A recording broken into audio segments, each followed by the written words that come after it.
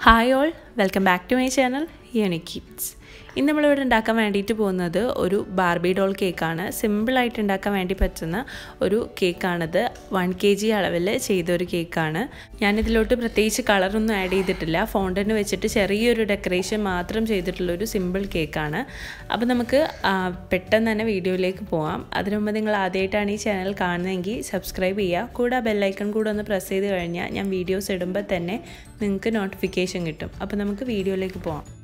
അപ്പം ഞാൻ സാധാരണ ചെയ്യുന്ന സ്പഞ്ച് കേക്കിന്റെ റെസിപ്പി തന്നെയാണ് ഇതിലും ഫോളോ ചെയ്തേക്കുന്നത്. അതായത് ഒരു കപ്പ് മൈദ എട്ട് ടേബിൾ സ്പൂൺ കോൺഫ്ലോർ ഒരു ടീസ്പൂൺ അളവിൽ ബേക്കിംഗ് പൗഡർ ഇതെല്ലാം കൂടെ ഒരു മൂന്ന് പ്രാവശ്യം സീവ് ചെയ്ത് വെച്ചതിന് ശേഷം വെറ്റ് ഇൻഗ്രീഡിയൻസ് റെഡിയാക്കുകയാണ് ചെയ്യുന്നത്. അപ്പം ഞാനത് സ്പീഡിൽ കാണിച്ചു പോകുന്നതേ ഉള്ളൂ. നിങ്ങൾക്ക് ഡീറ്റെയിൽ ആയിട്ട് വീഡിയോ വേണമെന്നുണ്ടെങ്കിൽ ഞാൻ താഴെ ഡിസ്ക്രിപ്ഷനിൽ അതിന്റെ ലിങ്ക് കൊടുക്കാം. അതിൽ വളരെ ക്ലിയർ ആയിട്ട് ഞാൻ സ്പഞ്ച് കേക്കിന്റെ റെസിപ്പി ചെയ്തിട്ടുണ്ട്. ഡ്രൈ ഇൻഗ്രീഡിയൻസ് അരച്ചെടുത്തതിന് ശേഷം നമുക്ക് വെറ്റ് ഇൻഗ്രീഡിയൻസ് റെഡിയാക്കണം. അതിന് റൂം ടെമ്പറേച്ചറിൽ ഇരിക്കുന്ന ഒരു നാല് മുട്ട എടുക്കുക. അതിലോട്ട് ഒരു ടീസ്പൂൺ അളവിൽ വെനില എസൻസും മുക്കാൽ കപ്പ് പൊടിക്കാത്ത പഞ്ചസാരയും കുറച്ച് കുറച്ചായിട്ട് ആഡ് ചെയ്ത് ബീറ്റ് ചെയ്ത് കൊടുക്കുക. അത് നല്ലപോലെ ഒരു ഫ്ലഫി ആയിട്ട് ആ ഒരു എഗ്ഗ് ശരിക്കും ഒരു ക്രീമി കൺസിസ്റ്റൻസി ആവുന്നത് വരെ ബീറ്റ് ചെയ്തിട്ടെടുക്കുക അങ്ങനെ ബീറ്റ് ചെയ്ത് കഴിഞ്ഞതിന് ശേഷം അതിലോട്ട് ഒന്നര ടേബിൾ സ്പൂൺ പാലും ഒന്നര ടേബിൾ സ്പൂൺ അളവിൽ സൺഫ്ലവർ ഓയിലും കൂടെ ആഡ് ചെയ്തിട്ട് ഫോൾഡ് ചെയ്ത് കൊടുക്കുക.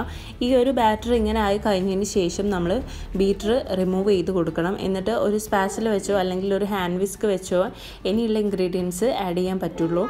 അല്ലാന്നുണ്ടെങ്കിൽ നമ്മുടെ കേക്ക് ഹാർഡായിട്ട് പോവും. അത് കഴിഞ്ഞതിന് ശേഷം നമുക്ക് അതിലോട്ട് ഡ്രൈ ഇൻഗ്രീഡിയൻസ് ആഡ് ചെയ്തിട്ട് മിക്സ് ചെയ്ത് കൊടുക്കാം. കുറച്ച് കുറച്ചായിട്ട് ചേർത്തിട്ട് മിക്സ് ചെയ്തെടുക്കാം.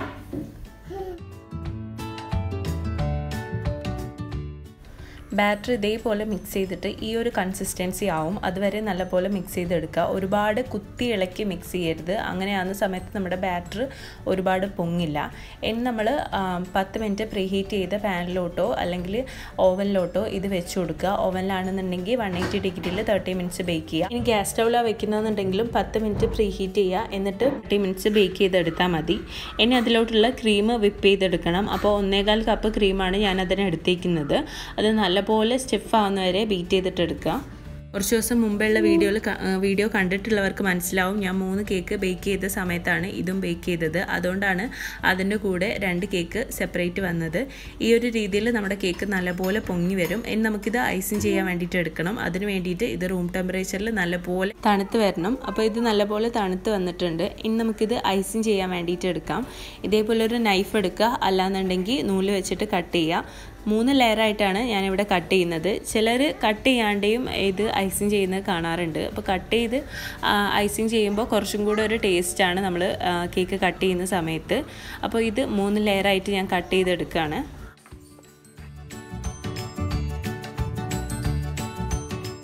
നിങ്ങൾക്ക് കണ്ടാൽ മനസ്സിലാവും അത്യാവശ്യം നല്ല സോഫ്റ്റാണ് കേക്ക് ഇനി നമുക്കിത് ഐസിങ് ചെയ്യാൻ വേണ്ടിയിട്ട് സ്റ്റാർട്ട് ചെയ്യാം. അപ്പോൾ ടേണിംഗ് ടേബിളിന്റെ മുകളിൽ കുറച്ച് ഐസിങ് സ്പ്രെഡ് ചെയ്ത് കൊടുക്കുക. നമ്മുടെ കേക്ക് തെന്നി പോകാണ്ടിരിക്കാൻ വേണ്ടിയിട്ടാണ്. നമുക്കിത് ഐസിങ് ചെയ്യാൻ വേണ്ടിയിട്ട് തുടങ്ങാം. അപ്പോൾ ഐസിങ് ചെയ്യാൻ വേണ്ടിയിട്ട് ഞാൻ ഫസ്റ്റ് ലെയർ അതായത് ഏറ്റവും അടിയിലുള്ള ലെയർ വെച്ചിട്ടുണ്ട്.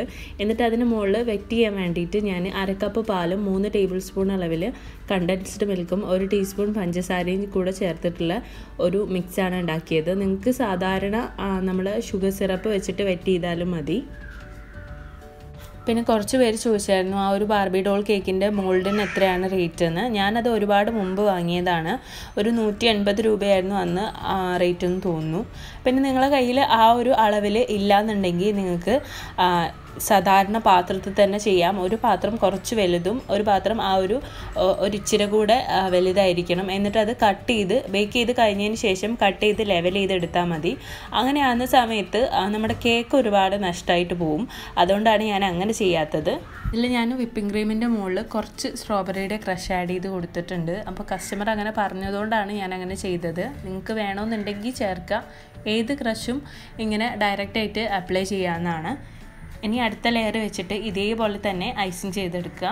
ഇത് ലെയറും ഇതേപോലെ വെറ്റ് ചെയ്തെടുത്തിട്ട് ക്രം കോട്ട് ചെയ്തെടുക്കുക. ഞാനിപ്പോൾ ക്രം കോട്ട് ചെയ്യുന്നത് എന്താണെന്ന് വെച്ചാൽ ഞാനതിന്റെ മുകൾ ഭാഗത്ത് പൂക്കൾ വെച്ചിട്ടാണ് ഡിസൈൻ ചെയ്യുന്നത്. അതുകൊണ്ട് തന്നെ അടിയിലുള്ള ഭാഗം ശരിക്കും ക്ലിയർ ആവില്ല. അപ്പോൾ നമ്മൾ അടിയിൽ അതായത് ബേസിലും അത്യാവശ്യം നല്ലപോലെ ക്രീം വെച്ചിട്ട് കവർ ചെയ്യുന്ന സമയത്ത് അത് കഴിക്കുമ്പോൾ കുറച്ചൊരു മടുപ്പ് വരും. അതുകൊണ്ട് താഴെ ഭാഗം ഒന്ന് ക്രം കോട്ട് ചെയ്തിട്ട് മേലെ ഭാഗം ഇതേപോലെ ഫ്ലവേഴ്സ് ഡിസൈൻ ചെയ്യാന്നുണ്ടെങ്കിൽ ആ ഒരു ക്രം കോട്ടിങ് മാത്രം മതി.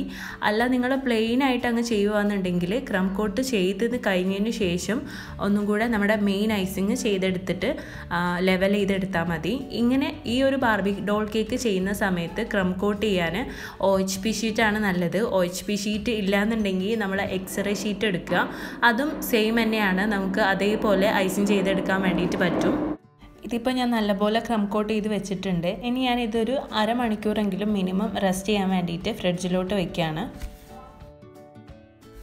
ഞാനിപ്പോൾ ഇത് നല്ലപോലെ ഫ്രിഡ്ജിൽ വെച്ച് തണുപ്പിച്ചെടുത്തിട്ടുണ്ട്. ഇനി നമുക്കിതിൽ ഫ്ലവേഴ്സ് വെച്ചിട്ട് ഡിസൈൻ ചെയ്യാം. സാധാരണ നമ്മൾ ചെയ്യുന്ന റോസറ്റ നോസിൽ തന്നെയാണ് ഇതിനെടുത്തേക്കുന്നത്. അത് വെച്ചിട്ട് ഞാൻ ഈ ഒരു പൂവ് ഫുള്ളായിട്ട് കവർ ചെയ്തെടുക്കുകയാണ് ഞാനിതിപ്പോൾ കംപ്ലീറ്റ് ആയിട്ട് ഇതേപോലെ വരച്ചെടുത്തിട്ടുണ്ട്. ഇനി നമുക്ക് ഇതിന്റെ മുകളിലോട്ട് നമ്മുടെ ബാർബിയെ വെക്കണം. അപ്പോൾ ഞാൻ ബാർബിയുടെ മേലെ ഭാഗം റെഡ് കളർ ഫോണ്ടന്റ് വെച്ചിട്ടാണ് ചെയ്തേക്കുന്നത്. അപ്പോൾ നിങ്ങളുടെ കയ്യിൽ ഫോണ്ടന്റ് ഇല്ലാന്നുണ്ടെങ്കിൽ സാധാരണ ചെറിയ നോസിൽ വെച്ചിട്ട് ഈ ഒരു ബാർബിയുടെ ബോഡി കവർ ചെയ്തെടുത്താൽ മതി. സാധാരണ നമ്മൾ ഉപയോഗിക്കുന്ന നോസിൽ തന്നെയാണ്. ചെറിയ ഡിസൈൻസ് വരുന്ന കുഞ്ഞു നോസിൽസും അവൈലബിൾ ആണ്. അത് വെച്ചിട്ട് ചെയ്താൽ മതി.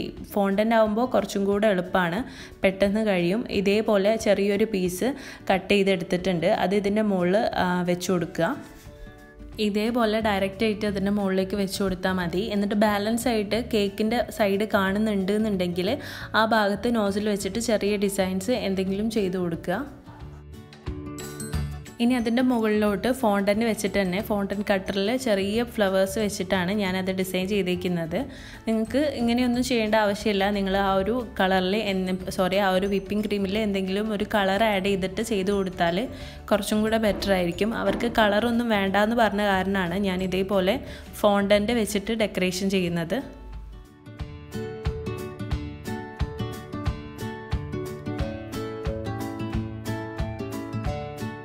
അപ്പോൾ നമുക്ക് വളരെ സിമ്പിളായിട്ട് ചെയ്തെടുക്കാൻ വേണ്ടിയിട്ട് പറ്റുന്ന ഒരു ബാർബി ഡോൾ കേക്കിന്റെ റെസിപ്പിയാണിത് എല്ലാവരും ഒന്ന് ട്രൈ ചെയ്ത് നോക്കുക. ട്രൈ ചെയ്ത് നോക്കിയിട്ട് ഫീഡ്ബാക്ക് ഒക്കെ അറിയിക്കുക. അപ്പോൾ വീഡിയോ ഇഷ്ടമായെങ്കിൽ ലൈക്ക് ചെയ്യുക കമന്റ് ചെയ്യുക ഫ്രണ്ട്സ് ആൻഡ് ഫാമിലിക്കൊക്കെ ഇതൊന്ന് ഷെയർ ചെയ്ത് കൊടുക്കുക.